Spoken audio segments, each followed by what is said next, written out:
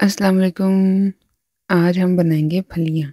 फलियाँ बहुत सारे लोगों को पता नहीं होता कि ये है कैसी या इसे बनाते कैसे हैं। मतलब इसे पहले तो कुकिंग के अलावा इसको बनाते कैसे, काटते कैसे हैं, ठीक है? आया इसको ओपन करते हैं मटर की तरह या काटते हैं, क्या करते हैं? तो आज हम देखते हैं जल्दी से इसको ये कैसे करते हैं। ये फलियाँ जो है इस तरह नज़र आती हैं। कुछ सख्त होती हैं और कुछ जो हैं वो उसका छिलका नरम हो जाता है। जिसका नरम हो जाता है इसका मतलब है कि वो अंदर से दाना उसका पक चुका है। उसे हम फिर उसे हम उसे फिर हमें छीलना पड़ता है।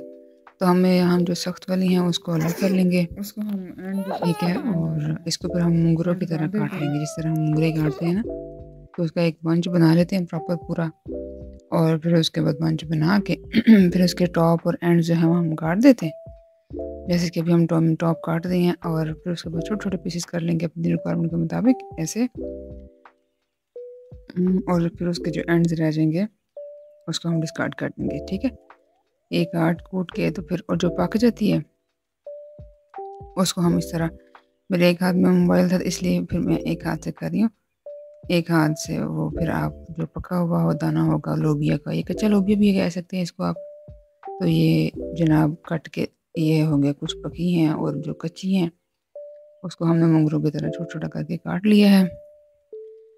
एक तरीका तो है जी ये इसका कि पकी हुई पके हुए के दाने निकालें और कच्चे इस तरह कर दें। और दूसरा तरीका जो है वो ये है कि आप उनको कटिंग बोर्ड पे लें और उनमें एक-एक करके ना बंच में तो ये होगा ना कि आपको टॉप और एंड्स उसके देखने पड़ेंगे, कितना काटना कितना नहीं काटना। यहाँ पे आप ये कर सकते हैं सेपरेटली आप एक-एक जल्दी-जल्दी से ना टॉप और एंड्स काट दें। एक-एक करके ठीक है।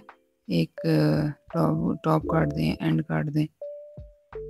और उसके बाद फिर जब ये एक बंच पूरा बन जाएगा फिर फिर आपको आसानी हो जाएगी। फिर आप आराम से अपनी रिक्वायरमेंट के मुताबिक काट लेंगे।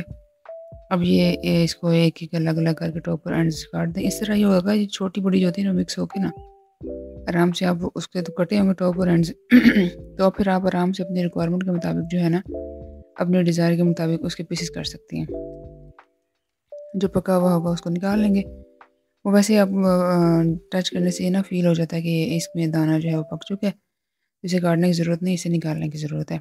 वो आप जैसे देखेंगे आपको पता चल जाएगा। ये देखें एक बंच बन गया। अलग-अलग काट के इसमें छोटे-बड़े, टेढ़े-मेढ़े सारे इकट्ठे हो गए और इसको हम जो है वो अपने डिज़ायर के मुताबिक छोटे-छोटे पीसेस में काट देंगे इस तरह करके, ठीक है? मेरे फ़ोन फ़ोन की वज़ह से ना मैं तो प्रॉपर आपको वीडियो नहीं बनी, ठीक है? ये छोटे-छोटे बंचेज जो है वो कट गए हैं। अब आप इसे आलू डाल के भी बना सकते हैं, इसके अंदर चिकन डाल के भी बना सकते हैं और इसके अंदर गोश्त डाल के बना सकते हैं। ओके।